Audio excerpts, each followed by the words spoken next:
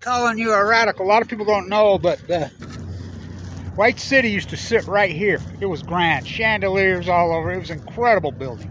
It was one of the great boxing venues in the country. It was round, chrome, incredible right here, Ogden, Utah.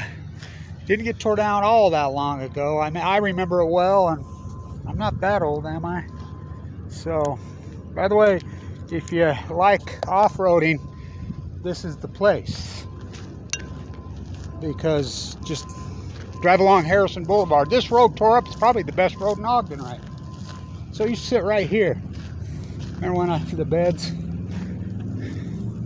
So I want to get a video right here. Mighty Mount Ogden. So where's your crown? Where's your crown, Blanch? Where's your crown? Where's your crown? Where's your crown? Where's your crown? Got the big can for this. When your crown king nothing. Where's your crown? Said, drive down Harrison Boulevard if you like off-roading.